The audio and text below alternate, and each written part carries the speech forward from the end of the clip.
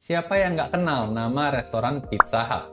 Gerainya ada di mana-mana dan mungkin sewaktu kecil beberapa dari kalian suka diajak orang tua buat makan sekeluarga. Saya sendiri sewaktu kecil makan pizza ini jadi salah satu menu wajib nih kalau ada adik, orang tua, atau saya sendiri berulang tahun di kala itu. Jadi saat saya analisa saham ini pun ada nuansa nostalgianya, kenangan waktu kecil dulu. Berhubung sekarang statusnya udah bukan sebagai konsumen aja, tapi juga udah jadi investor, dan mungkin ada beberapa dari teman-teman yang calon investor dan baru tahu kalau Pizza Hut ternyata juga kita bisa beli sahamnya loh. Nah, kira-kira lebih mending mana nih? Beli pizzanya sebagai konsumen atau beli sahamnya sebagai investor?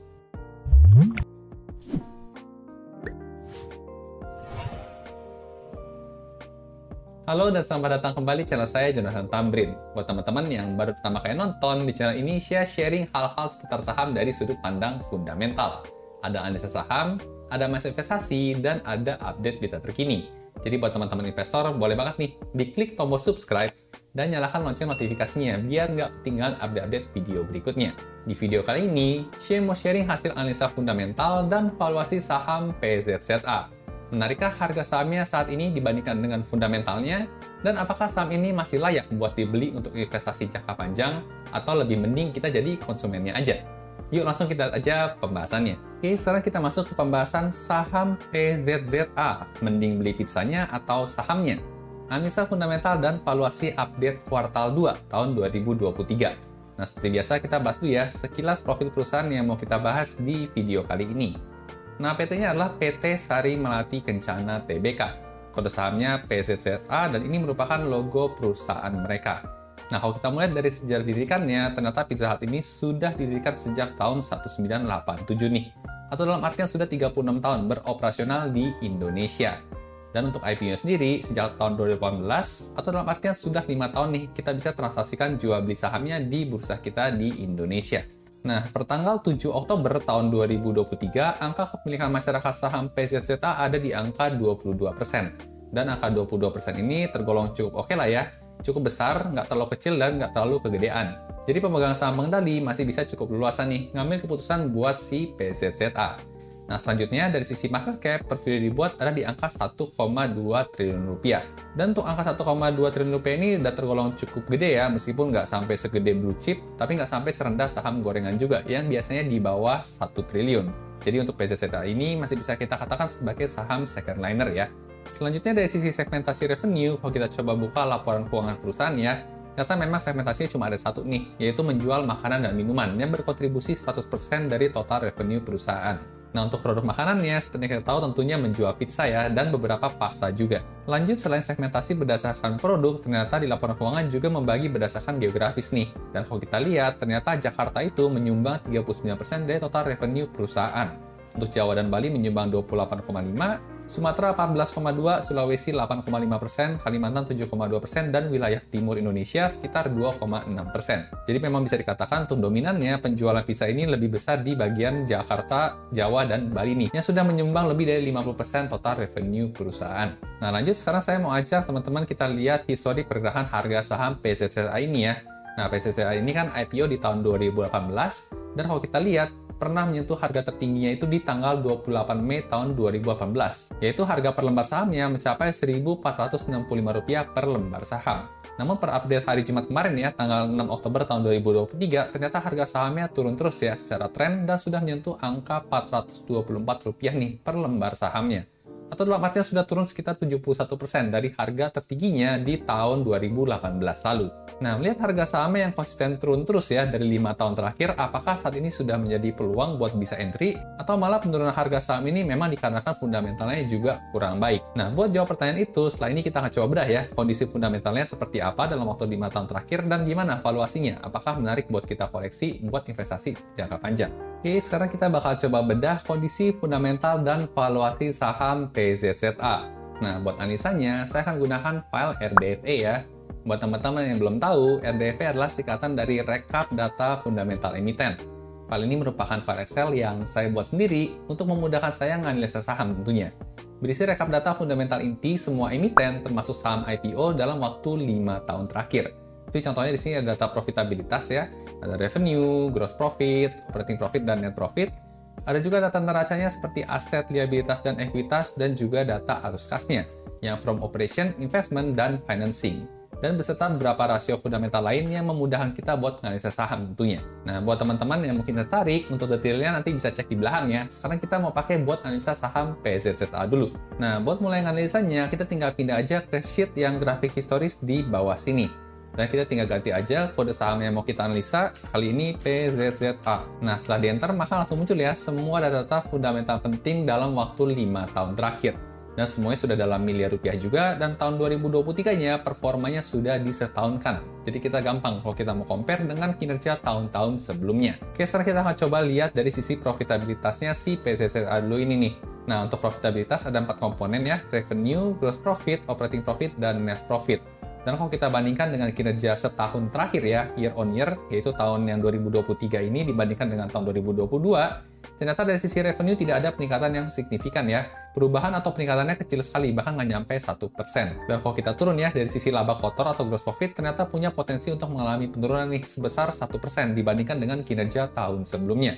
Dan untuk operating profitnya malah turunnya cukup signifikan ya, dari untung malah menjadi rugi, dan untuk net profitnya juga berpotensi rugi lebih besar nih di tahun 2023 kalau dibandingkan dengan tahun 2022. Tahun 2022 di sini angkanya merugi 23 miliar ya. Lalu kemudian di tahun 2023 yang disetahunkan berpotensi merugi sebesar 90 miliar rupiah. Nah, kenapa saya bilang tahun 2023 ini berpotensi angkanya? Karena laporan keuangan terakhir perusahaan itu adalah update yang kuartal 2 tahun 2023 nih sampai saat ini. Dan karena metodenya adalah disetahunkan, berarti kinerja kuartal 2 itu dikalikan 2 ya, dengan asumsi kinerja kuartal 3 dan kuartal 4 itu kurang lebih sama dengan kuartal 1 dan kuartal 2 tahun ini. Nah, buat lebih jelasnya kita bisa lihat grafik yang ada di bawah sini ya secara tren 5 tahun terakhir. Nah, tadi seperti yang kita tahu untuk PZZA ini IPO-nya kan di tahun 2018 ya. Nah, ini performa tahun 2019, revenue-nya mencapai 3,9 triliun. Ternyata di tahun 2020 revenue-nya malah turun ya, jadi tinggal 3,4 triliun rupiah aja. Di tahun 2021 juga lebih memburuk ya dibanding tahun 2020-nya, turun sedikit. Lalu masuk tahun 2022 ada peningkatan kinerja ya ke 3,6 tapi masih belum balik nih ke kinerja tahun 2019 lalu. Dan apalagi untuk tahun 2023, kalau kita cek juga, berpotensinya itu juga masih belum melebihi kinerja tahun 2019 lalu. Jadi sekilas dari sisi sales ya atau revenue, kita bisa bandingkan saat IPO dengan kondisi sekarang malah lebih buruk sekarang ya dibandingkan saat IPO kemarin. Dan di sini kalau kita perhatikan juga ya, khususnya yang warna kuning ya untuk net profit atau laba bersih perusahaan, di tahun 2019 itu perusahaan bisa mencetak keuntungan sebesar 200 miliar. Tahun 2020 malah rugi ya di sini minus 94 miliar. Tahun 2021 untung tipis ya 61 miliar, lalu kemudian tahun 2022 balik rugi lagi minus 23 miliar. Dan tahun 2023 ini setahun kan berpotensi minus lebih gede nih, yaitu sampai 90 miliar rupiah. Nah, setelah kita data ini jadi cukup jelas ya, kalau memang dari sisi profitabilitas, ternyata PCCA tidak sebagus itu. Dan apalagi tahun 2023 yang notabene-nya sudah lewat pasca pandemi ya, tapi kinerjanya bahkan masih lebih buruk dibandingkan kondisi sebelum pandemi kemarin. Oke, jadi dari sisi profitabilitas belum cemerlang ya untuk PCCA sayang sekali. Kita lanjut evaluasi dari sisi neraca perusahaan ya. Nah, kalau kita lihat neracanya, ada tiga komponen juga. Yang pertama ada aset, lalu kemudian ada hutang, dan ada modal. Nah, kita bisa lihat tren selama lima tahun terakhir dari sisi aset yang warna biru ternyata juga naik turun ya. Dari awal tahun 2019 mencapai 2,1 triliun, lalu kemudian naik, lalu kemudian turun, naik lagi, dan saat ini turun lagi nih ke 2,3 triliun rupiah. Apalagi kalau kita lihat komposisi hutang dan modalnya ya, kita bandingkan ya warna oranye dengan warna abu-abu, di tahun 2019 tingkat hutangnya lebih dikit dibandingkan dengan modalnya. Namun berasur-asur semakin ke sini, tingkat hutangnya malah lebih tinggi nih dibandingkan modalnya sekarang. Dan ini bukan merupakan hal yang bagus ya, karena kalau hutangnya ketinggian, ada potensi buat gagal bayar atau bangkrut. Nah, jadi sekilas dengan lihat data ini, ternyata dari sisi neraca juga belum dikatakan baik ya, atau malah kondisinya bisa dikatakan memburuk dibanding sebelum pandemi kemarin. Nah, lanjut kita coba evaluasi bagaimana dengan laporan arus kas perusahaan ya. Nah, arus kas juga ada tiga komponen. Yang pertama ada operation, ada investment, dan ada financing. Kita akan coba lihat yang operation dulu ya. Yang warna biru di sini, kita bisa lihat selama lima tahun terakhir ternyata angkanya positif terus nih dan ini merupakan hal yang bagus. Kenapa? Karena kalau angkanya positif, itu menandakan duit lebih banyak masuk nih dibandingkan yang keluar di tahun tersebut. Kita sebagai pemegang saham ya, atau pemilik perusahaan, tentunya kita pengen perusahaan kita cuan ya, lebih banyak duit yang masuk dibandingkan yang keluar. Dan untuk arus kas operation untuk PZCA selama 5 tahun terakhir tergolong cukup ideal karena angkanya positif terus. Nah lanjut gimana dengan arus kas investmentnya nih? Kita bisa lihat selama 5 tahun terakhir yang warna oranye angkanya negatif terus. Dan ini juga merupakan hal yang bagus ya, karena kalau yang bagian investment ini angkanya negatif, berarti ada duit yang keluar untuk aktivitas investasi di tahun tersebut. Dan seperti yang kita tahu, tujuan dari investasi itu kan baik ya, memberikan keuntungan buat perusahaan di masa mendatang. Jadi cukup ideal juga nih, PZZA selama 5 tahun terakhir, angka warna oranye atau investment ini negatif terus. Nah lanjut, bagaimana dengan kondisi arus kas financing ya? Selama 5 tahun terakhir, kita bisa lihat yang warna abu-abu ini angkanya naik turun ya. Kadang negatif, kadang positif, negatif lagi, positif lagi, dan negatif lagi. Dan untuk yang financing ini, sebenarnya harapan kita sebagai investor, angkanya adalah negatif nih. Kenapa? Karena kalau angkanya negatif, itu tandanya ada duit yang keluar buat pembayaran hutang atau pembagian dividen. Tapi kalau angkanya positif, itu berarti tandanya biasanya menambah hutang nih. Dan kalau kita lihat selama lima tahun terakhir, ternyata angkanya bolak-balik ya. Kadang lebih banyak bayar hutangnya, kadang lebih banyak nambah hutangnya, lalu mungkin bagi dividen juga, lalu kemudian nggak bagi, dan sebagainya. Jadi kalau disimpulkan dari sisi arus kas untuk operation dan investment tergolong cukup ideal, tapi untuk financing tergolong nggak ideal nih. Karena beberapa kali lebih banyak nambahin hutang nih dibanding melunasinya. Nah, oke, okay, tadi kita udah lihat ya kondisi tiga laporan utama dari laporan keuangan perusahaan kondisi dari PCCA ini. Sekarang kita akan coba evaluasi dari rasio-rasio keuangannya. Nah, yang pertama ada rasio profitabilitas ya, ada gross profit margin, operating profit margin, dan net profit margin. Nah, kita bisa lihat selama lima tahun terakhir dari sisi margin laba kotor tergolong konsisten nih, itu di angka 65 sampai 67 persenan. Dan ini merupakan hal yang bagus ya, karena angka 60-an ini tergolong yang cukup tinggi nih. Biasa perusahaan untuk mencapai angka 40 aja udah susah, tapi PCCA ini bisa mencapai angka 60-an persen untuk gross profit marginnya. Cuman sayangnya, kalau kita perhatikan di poin selanjutnya, operating profit margin ternyata selisih gapnya jauh ya, antara yang warna biru dengan yang warna oranye di bawah sini. Bahkan di sini angkanya bisa minus ya. Ini menunjukkan bahwa memang beban operasional perusahaan itu gede banget. Dan saking besarnya beban operasional perusahaan ini, bisa menyebabkan perusahaannya bahkan sampai rugi. Nah, sekilas juga kita udah bisa lihat ya, yang warna biru ini cakep banget angkanya 60%, tapi yang warna oranye dan warna abu-abu ini kurang bagus atau bahkan ke arah buruk nih, karena angkanya bisa sampai minus, sampai rugi gitu ya. Nah, buat mudah membayangkannya gimana tiga angka persentase ini? Nah, kita coba ambil yang tahun 2023 ya. Nah, misalnya Pizza Hut ini menjual pizza seharga 100 ribu. Nah, untuk membuat pizza ini tentunya ada bahan baku ya, ada rotinya, ada dagingnya, ada sayurnya. Dan setelah dikurangin beban bahan baku itu, ternyata masih cuan 66% nih. Jadi dari harga 100.000 pizza, cuan setelah dipotong beban bahan baku adalah Rp66.000. Nah, setelah dipotong bahan baku, tentunya ada biaya-biaya lain ya, seperti biaya listrik, biaya tenaga kerja karyawan, biaya marketing, dan biaya operasional lainnya. Dan setelah dikurang, ternyata angkanya di sini menjadi minus 2%, atau jadi rugi Rp2.000 ya setelah dikurang. Jadi jual pizza Rp100.000, setelah dipotong beban bahan baku masih cuma Rp66.000, tapi setelah dipotong beban biaya operasional ternyata jadi rugi Rp2.000. Dan nggak sampai di sini tentunya ada pengurangan lainnya ya, seperti beban keuangan dan juga beban pajak. Nah, setelah dikurang ternyata angkanya masih sama ya, kurang lebih 2% juga. Jadi endingnya, meskipun perusahaan jual pizza ya 100 ribu, tapi tetap aja perusahaan masih rugi 2000. Nah, ini sangat disayangkan sekali ya, padahal profit marginnya bisa dikatakan gede banget. Nah, kita lanjut ke rasio selanjutnya yaitu ROE ya, atau Return on Equity. Kita bisa lihat trennya selama 5 tahun terakhir, Ternyata setahun setelah IPO ya di tahun 2019 mencatatkan kinerja yang cukup bagus nih, yaitu 15% ROE-nya. Tapi makin ke sini malah makin buruk ya. Di tahun 2023 yang disetahunkan, angkanya mencapai minus 8% nih. Dan angka ROE, kalau angkanya sampai minus itu sangat buruk ya. Nah, jadi ibaratnya gini, kalau kita punya uang cukup banyak ya, kita punya opsi nih. Kita mau bikin usaha, atau kita mau dimin aja taruh deposito yang aman. Nah, seperti kita tahu, deposito itu kan memberikan return ya, kurang lebih di kisaran 3-4% setiap tahunnya. Tapi dalam contoh kasus ini, PCZA memilih untuk membangun usaha ya, membangun usaha pizza, dan ternyata selama setahun beroperasional, duitnya bukannya nambah, malah kurang ya, sebesar 8% dari modalnya. Jadi ngapain capek-capek bikin usaha ya, mendingan deposito aja. Nah, jadi contohnya seperti itu ya, ya semoga teman-teman lebih mudah buat memahami ROI ini. Nah, kita lanjut ke rasio selanjutnya ada rasio DER ya, atau Debt to Equity Ratio.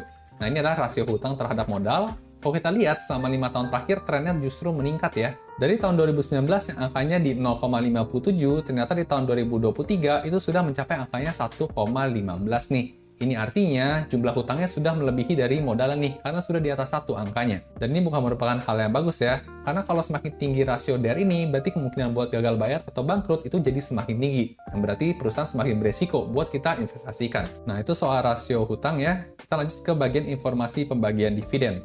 Nah kalau kita lihat selama lima tahun terakhir ternyata perusahaan nggak bisa dibilang rutin bagi dividen ya. Hanya bagi dividen untuk tutup buku tahun 2019, tahun 2020, dan tahun 2021. untuk tutup buku tahun 2018 dan tahun 2022 nggak bagi dividen karena ya cukup bisa dipahami ya, karena perusahaan lagi rugi, jadi nggak ada duit yang bisa dibagi buat dividen. Nah, kalau kita mulai dari angka yieldnya sendiri, ternyata juga tergolong cukup kecil ya, di kisaran hanya 2,7 sampai 2,9% aja, bisa dikatakan masih kalah ya dari bunga deposito. Jadi saham PSCA ini bukan hal yang menarik kalau kita mau cari dividennya, apalagi buat dividen hunter ya. Nah, oke, jadi sekilas kita lihat ya kondisi fundamental dari saham PSCA ini. Jadi memang dari sisi profitabilitas masih nggak menarik ya, karena trennya masih turun nih, kinerjanya belum membaik lagi. Dan juga dari sisi rasio hutang juga masih dikatakan nggak aman ya, karena semakin tahun tingkat hutangnya semakin bertambah. Apalagi dari sisi dividen yieldnya juga masih belum menarik, masih tergolong cukup kecil ya buat kita nikmatin hanya sekitar 2,7 persenan aja. Nah meskipun kinerja keuangannya memburuk, tapi kalau kita harga sahamnya sudah dibanting sampai minus 70 persen ya dari tertingginya. Dan ini menimbulkan pertanyaan, apakah harga saham saat ini sudah menjadi saking murahnya jadi menarik buat dikoleksi buat investasi. Nah, buat menjawab pertanyaan itu, kita perlu lihat rasio valuasi ya.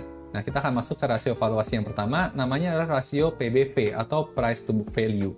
Nah, kita bisa lihat ya, kinerja PBV selama 5 tahun terakhir angkanya semakin lama semakin turun. Dan ini merupakan hal yang bagus. Semakin turun angka PBV berarti artinya semakin murah. Nah, buat teman-teman yang mungkin belum familiar ya cara baca rasio PBV, ini gampangnya kita berpegangan pada angka 1. Kalau angka rasio PEV-nya di kisaran 1 sampai 1,3, itu bisa dikatakan harga saham saat ini tergolong wajar. Jadi nggak murah dan nggak mahal. Tapi kalau angkanya di atas 1,3 ya, 1,5, 2, dan sebagainya, berarti harga sahamnya sudah mulai mahal atau over value.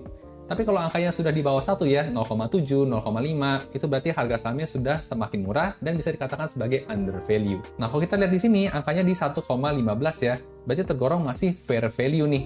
Jadi belum bisa dikatakan murah, tapi juga nggak mahal. Nah, secara valuasi PVV mengatakan harga saham PCCA saat ini di harga wajar. Nah, apakah ini menunjukkan bahwa sekarang saatnya buat kita mulai koleksi? Menurut saya pribadi, itu sih masih belum ya Kenapa? Karena dari segi tren kinerja keuangan masih trennya menurun nih, belum ada titik baliknya. Dan menurut saya pribadi, kalau kinerjanya masih turun seperti ini, bahkan masih belum layak nih di angka PBV 1 nih. Bahkan harusnya PBV-nya bisa sampai turun di bawah 1, mungkin 0,7 atau 0,5 dulu, baru bisa dikatakan murah, karena kinerjanya toh masih turun terus. Oke, jadi itu ya, dari sisi rasio PBV mengatakan harga saham PCCA masih tergolong harga wajar, belum murah, meskipun kinerjanya masih turun terus. Nah, kita sekarang akan coba bandingkan ya dengan rasio valuasi yang kedua, yaitu price to earning ratio, atau rasio PER. Nah, selama lima tahun terakhir, trennya cukup anomali ya, sempat angkanya minus, lalu plus gede, lalu kemudian minus gede lagi, dan kemudian minus di 14,20 sekarang. Nah, untuk rasio PER ini seperti namanya price to earning ratio, berarti harga saham dibandingkan dengan kemampuan earnings perusahaan, dan di tahun 2023 dan tahun 2022 angkanya adalah merugi ya, negatif. Jadi untuk rasio PER ini nggak bisa kita gunakan ya, karena angkanya jadi ada negatif di sini. Untuk rasio PI rasio ini kita berpegangan pada angka 10 nih. Kalau angkanya di kisaran range 10 sampai 13 dikatakan harga sahamnya masih wajar, tapi kalau sudah mulai di atas 13, 15, 20 dan sebagainya dikatakan sudah semakin kemahalan. Dan kalau di bawah 10 itu berarti semakin murah ya. Tapi karena di sini perusahaan lagi rugi, kita nggak bisa pakai rasio PI rasio ini. Oke, jadi itu ya. Tadi kita sudah evaluasi kinerja fundamental perusahaan dalam beberapa tahun ini, ternyata tren kinerjanya masih menurun, masih belum menarik, dan dari segi valuasi juga masih belum bisa dikatakan murah. Jadi menurut pandangan saya pribadi masih belum layak nih buat kita investasikan uang kita di saham PZZA. Buat saya pribadi saya masih lebih suka jadi konsumennya aja dibandingkan jadi investor saham PZZA ini.